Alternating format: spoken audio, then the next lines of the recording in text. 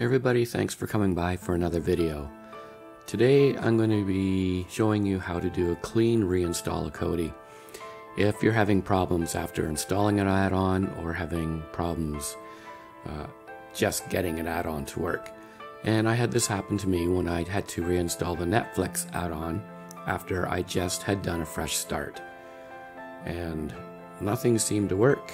Error kept coming up and I did discover that the repository for Netflix that's available doesn't work. You're better to download the master zip, which I'll leave a uh, link to below. I found that the following steps are what I use to actually get Kodi to work, and it essentially is pretty much nuking it completely off your computer.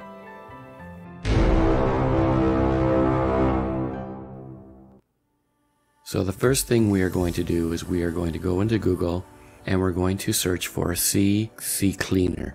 I'll have a link below directly to the download page as well. Once you've come there, you hit the uh, download CC Cleaner and that'll bring up this page here. And you want to scroll down and you want to pick the free version, the green button. And then save it and download it. So CC Cleaner, or as I used to call it, and I think the vernacular was way back in the day, it was called Crap Cleaner. I discovered after I got a new Dell computer, and the short of it is that it's great for getting rid of cookies. It cleans out your browser temporary files. It can help speed up your computer by doing registry cleaning, and it also has very nice tools.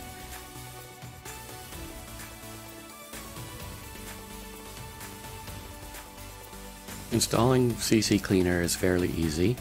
Go to the location where you saved it, double click it, and then follow the instructions. It's basically just clicking.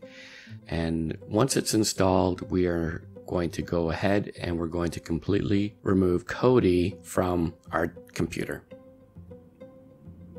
So now that we're installed, we're going to open up CC Cleaner and uh, we're going to go down to the Tools section now what we're going to do from there is we're going to look for Kodi, just like we would in the Windows installer. When you find Kodi, select it, and then go to the top there and start the uninstall.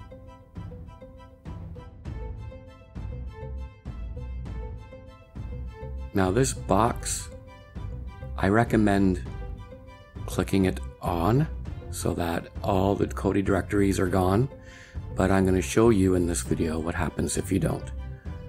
So once you're in the registry tab, you'll want to go down and scan for issues. And what's going to happen is it's going to pull up all these orphaned registry links. It will ask if you want to back up your registry. You can. As you can see, I'm just saving them here under my documents.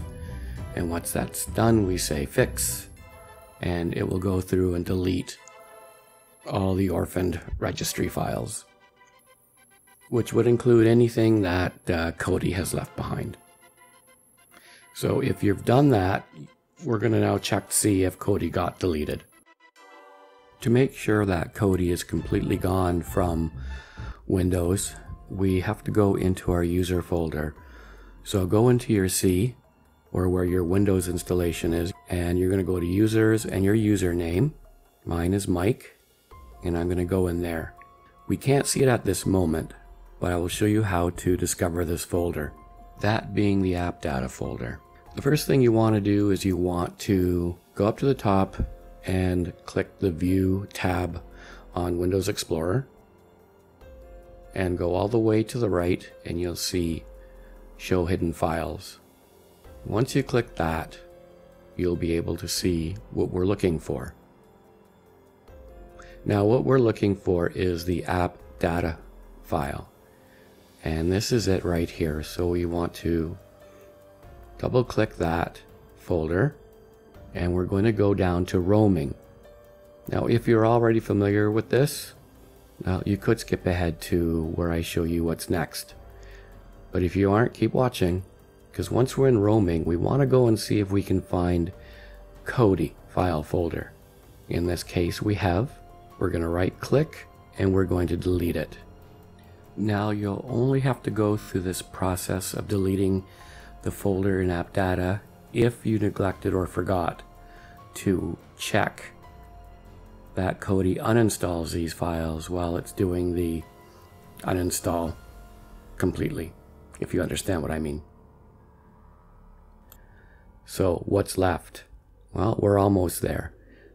The next thing we want to do is a complete system restart. Now the reason I do a restart is to flush everything out, make sure that any settings that Kodi had in the firewall are reset, and then when we come back from a restart, we will reinstall Kodi.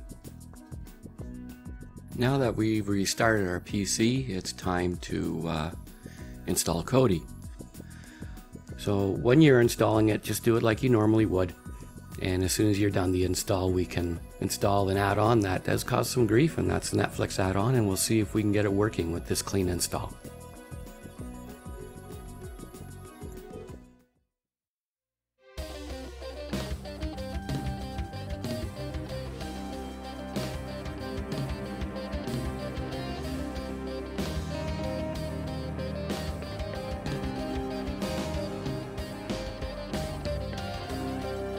Okay, so now that Kodi is installed, let's restart it. And uh, first thing we'll do is we have to go into the gear up there and into system and make sure that we allow Kodi to install add-ons. So we're going to go to add-ons and make sure the unknown sources is clicked on and just reply yes to that.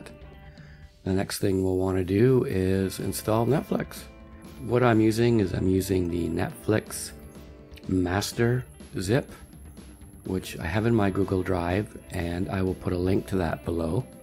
I'll also put a link to the repository that it came from, but don't download the repository.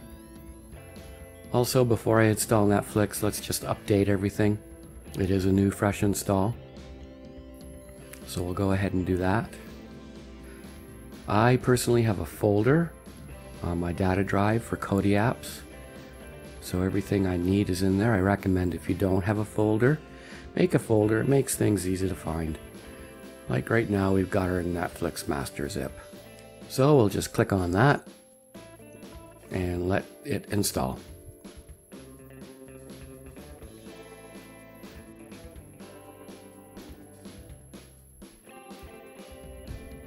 And there we go.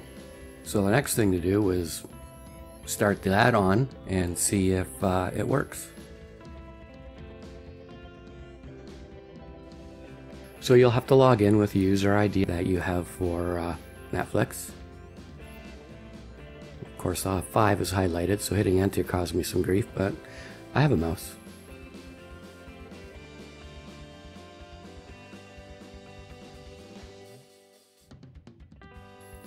And then the password, of course.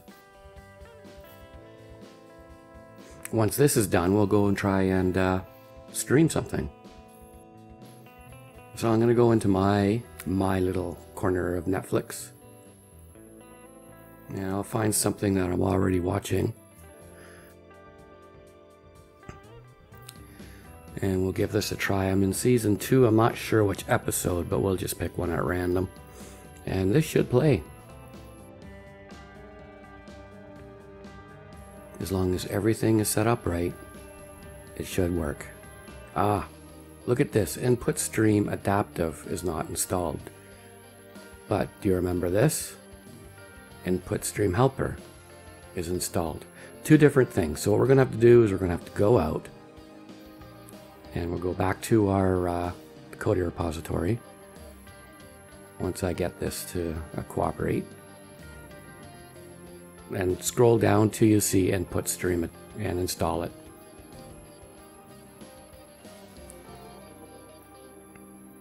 Why this does not get installed when you install the Netflix app, I don't know.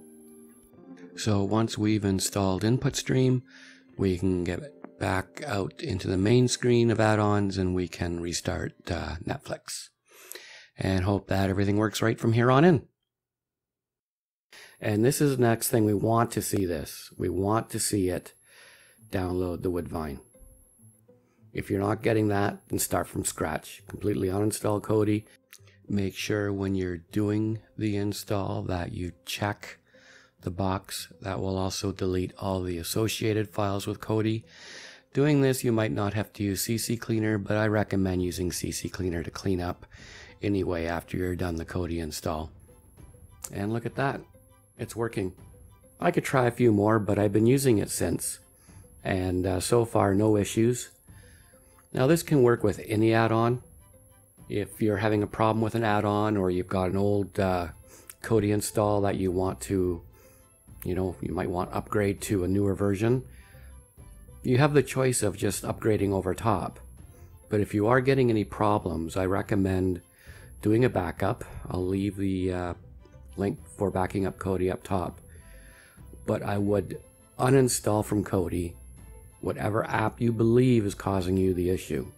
Because I'm not too sure if you uh, don't do that and you restore your backup into Kodi if it'll cause problems. I never did check that. So I hope this helped. I hope that if you're having problems with some add-ons, especially that Netflix add-on, that uh, this does solve it for you. If it has been a help, hit like. If you want to see some more Kodi videos, hit subscribe and uh, hit the notification bell. Glad everybody's here. Welcome to all the new subscribers. And I will be back with another video as soon as I can get one done. Everybody, thanks a lot for coming by.